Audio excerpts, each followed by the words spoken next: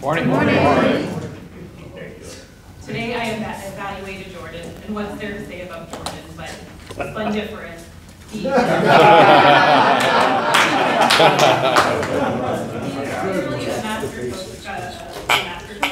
uh, very good speaking. Um, and even with the last minute addition, he was able to create an engaging speech. Um, off the bat, you were very engaging and you had the audience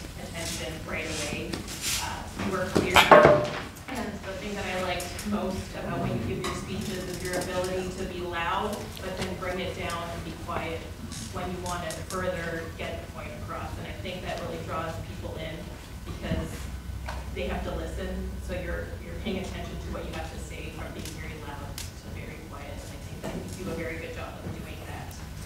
Um, Like I said, you use intonation to engage us.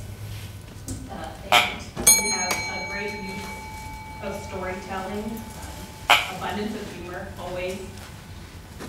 And uh, the other thing that I like about how you present your speeches is your ability to segue, and you use the audience to tell stories to enhance your speech, but then you have a good way of bringing it back to the topic at hand.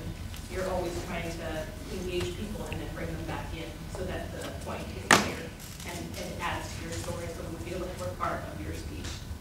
Um, The only feedback that I would really give, uh, you, you made it clear as how Toastmasters can help everyone and how it's a good use of uh, improving abilities and how we're really good at, at uh, improving overall. Uh, As speakers, uh, I think the only thing I would want to see more of is how gratitude itself can help us more in our daily lives, if that's the point that you were trying to come across with. And uh, early on, he gave me this article on how to persuade with power, and um, I think it was, it it allowed me to understand how you were trying to do what you were trying to do with your speech. And uh, I think having this, oh, okay, I'm done. It was a good